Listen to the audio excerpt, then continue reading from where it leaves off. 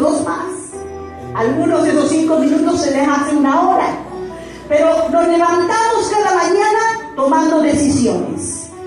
Pero esas decisiones son normales, corrientes de todos los días. Pero la vida comienza a cambiar cuando nosotros tomamos decisiones fuertes.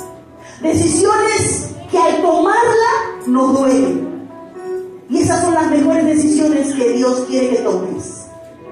Porque si no te duelen, no te favorecen.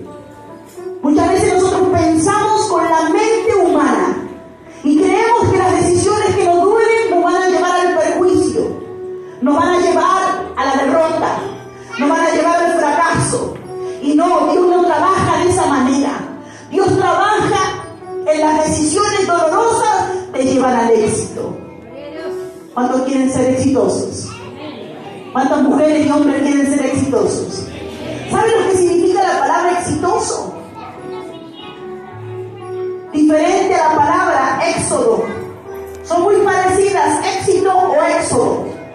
Éxodo significa salida, pero no llegada.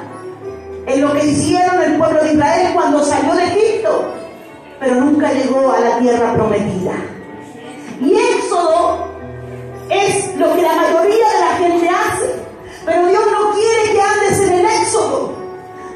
quiere que andes en el éxito. Éxito significa salida, pero llegar a la meta. ¿Cuántos tienen metas aquí? Ninguno tiene meta, van levante sus manos. ¿Cuántos tienen metas? Cosas que quieren en la vida.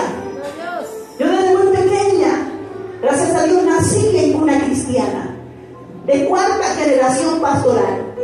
Mis bisabuelos, son pastores. Y yo, una misionera, en el cual pastoreamos muchos años en Argentina. Y ahora una profeta que anda predicando por las naciones. Pero no me avergüenzo del Evangelio.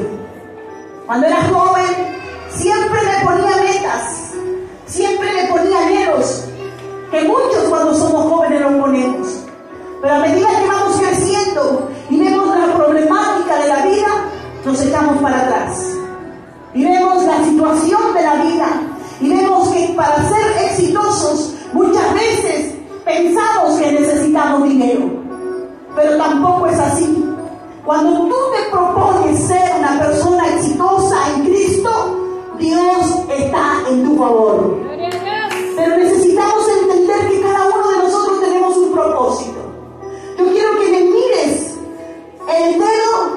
Tu vecino. El dedo pulgar, vamos, mirar el dedo pulgar. Miráselo. ¿Qué tienen los dedos de tu mano? ¿Qué tiene? A ver, ¿qué tiene de especial ese dedito gordo? Algunos lo tienen más gordito, otros más flaquito. Pero ¿qué tiene de especial? ¿Para qué se usa este dedo principalmente? Para nuestras huellas. ¿Y por qué cada uno de nosotros tenemos una huella digital única? Imagínate, si Dios se preocupó para hacerte una huella digital única para ti, ¿cuánto más con tu propósito?